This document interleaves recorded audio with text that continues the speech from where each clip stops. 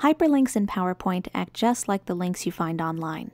They have their own display text, for example, USA.gov retirement resources, and also an email address, web page, or some other location that they're linked to.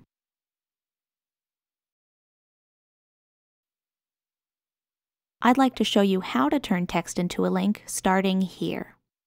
All you have to do is go to the Insert tab, then Hyperlink.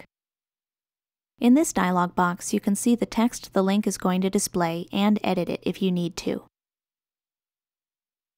You can also enter a web address here. When you're done, click OK, and the text turns into a hyperlink. Why don't we try linking to something else, maybe an email address? I think it would be nice if new employees could click this person's name to contact Human Resources. This time, I'm going to right-click the text and choose Hyperlink here instead of going to the Insert tab. Now click Email Address and type.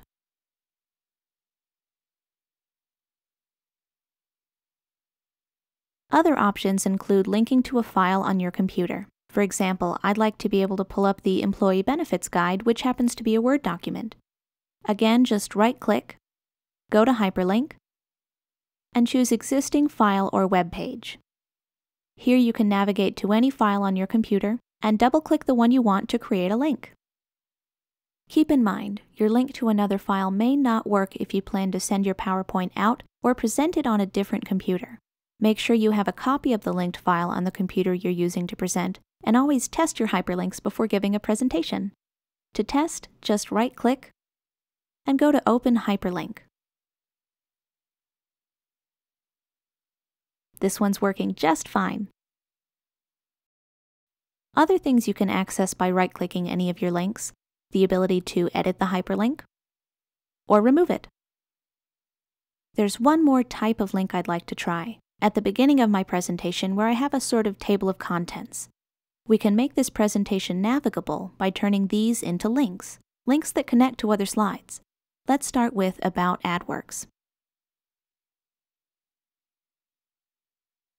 Go to Place in this document, and you can choose from a list of slides with a little preview to the right. Here's the one we want to link to. Keep going until your table of contents is complete. And don't be afraid to get creative. There are lots of things you can do with the ability to link to other slides. Let's try out one of these links in Slideshow View. See that? I was just on slide 2, now I'm on slide 13. These hyperlinks are going to be a big help to me, and also to anyone who views the presentation on their own.